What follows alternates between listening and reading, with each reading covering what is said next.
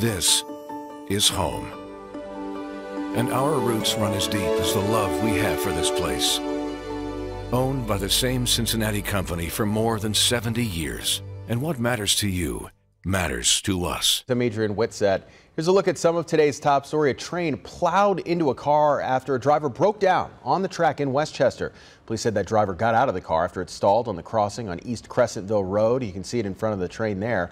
The car a sitting duck for the southbound train as it pushed it about a tenth of a mile down the tracks before it finally came to a stop. East Crescentville Road was closed at Windisch Road for a few hours as crews worked to remove that car from the track. No injuries reported.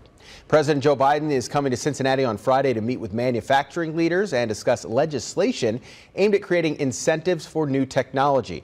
The White House, though, has not released yet the location or the time. We'll update you once we learn more. Happening tonight, we're taking a closer look at alternative solutions to deal with post-traumatic stress. WCPO 9 anchor Craig McKee is hosting a free event called Post Trauma Healing Stories and Resources. Disabled American Veterans is sponsoring the event alongside the Cincinnati VA Medical Center. It's happening at Memorial Hall in Cincinnati. There will be a screening of two documentaries, then a panel of experts and a Q&A session with the audience.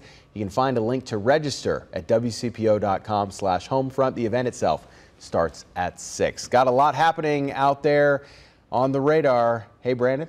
Yeah, Adrian, we're looking at a nine first warning weather alert day today, all because of the threat of strong and severe storms. This includes all of us here across the tri-state, and it really begins to open up through the rest of your afternoon and evening. Looking like the prime window is probably between 4 and 7 o'clock through northern Kentucky, southwestern Ohio, with a few individual strong or severe cells on the backside of this.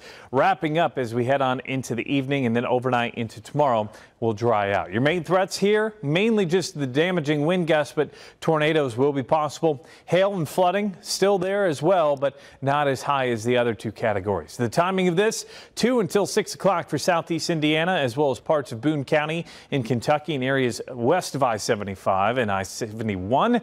3 to 7 for the I-71, I-75 corridor, and then 4 to 8 for areas east of Cincinnati. Be safe and have a great rest of your Tuesday.